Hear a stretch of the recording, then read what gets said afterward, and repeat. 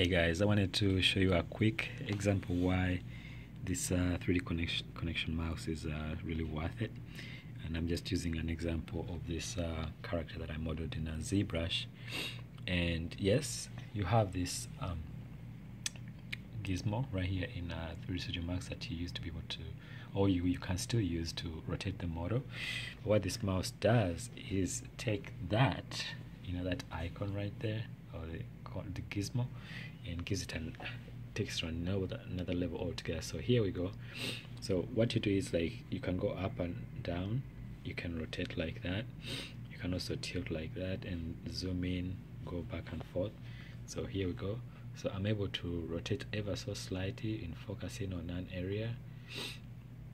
If I want to model like near the eye, so I'm able to rotate and remind that you'll be using your left hand. So this is my left hand that I'm using. So as I'm controlling the, the modeling with the other parts of the mouse I'm able to use this real quick.